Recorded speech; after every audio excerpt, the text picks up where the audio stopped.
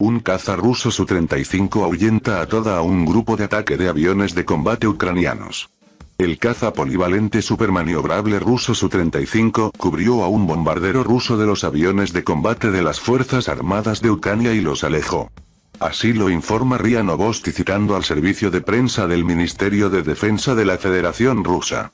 Según el ministerio, el piloto del Su-35 Iván, mientras realizaba una misión de combate de escolta y cobertura de bombarderos, divisó en el aire a un grupo de ataque de aviones de combate ucranianos.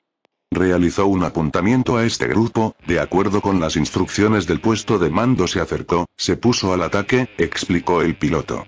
Como se indica en la publicación, la aviación de las Fuerzas Armadas de Ucrania logró alejarse, todos los aviones rusos regresaron al aeródromo de partida, habiendo cumplido con éxito la misión de combate. El grupo de ataque enemigo se alejó, dejó de cumplir su tarea, resumió el militar. Antes de eso, el piloto del Su-35 dijo que los cazas de las Fuerzas Armadas de Ucrania tratan de evitar encontrarse en el aire con los cazas rusos. El piloto ruso también señaló que los cazas estadounidenses F-16, que Ucrania intenta activamente conseguir, no asustan a los pilotos rusos. Anteriormente, Estados Unidos evaluó las capacidades de los cazas rusos Su-35.